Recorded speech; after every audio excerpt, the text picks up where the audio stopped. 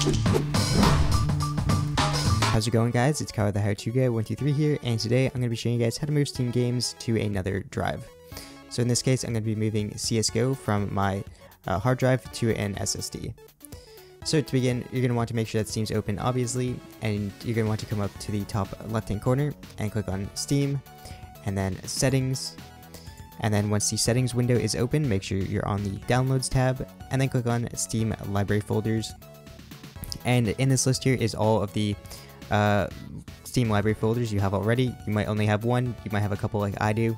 Uh, the D drive here is currently where all my games uh, are currently stored, uh, which is a hard drive, and uh, the C program files is just um, the folder that Steam creates automatically once you install Steam. But you're going to want to uh, click on Add Library Folder, and we're going to want to create a new folder where we want to move our games. So in this case, I'm going to put um, CSGO on my F drive, which is a brand new SSD and then uh, click on, oh actually we're going to want to make a new folder here and we're going to want to call it Steam Library. And then make sure the new folder is highlighted and then click on select. Uh, and then if you want to you can right click on it and make it uh, default.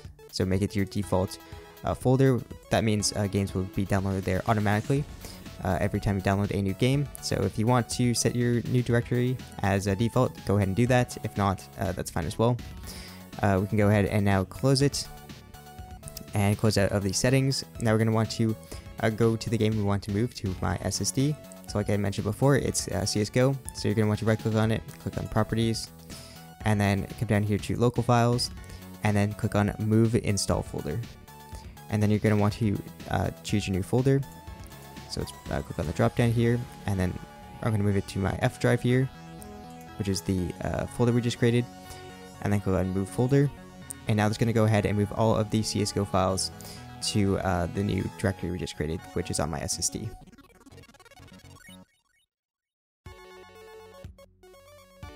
Alright, so if the move is successful, you'll see uh, at the bottom here it says success moved 5222 files to a new library folder. We can click on close, we can close out of the local files window here.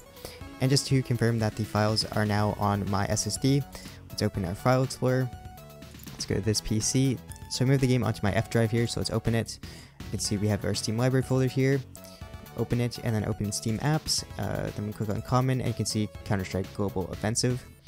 Uh, finally, let's actually go ahead and see if our game launches.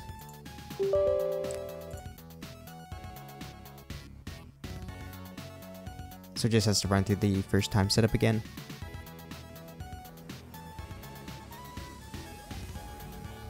And there we go, you can see CSGO has launched successfully, and we successfully moved CSGO from my hard drive to my SSD.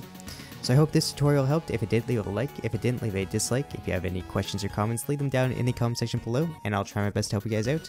So thank you guys for watching, and I'll see you guys in my next video.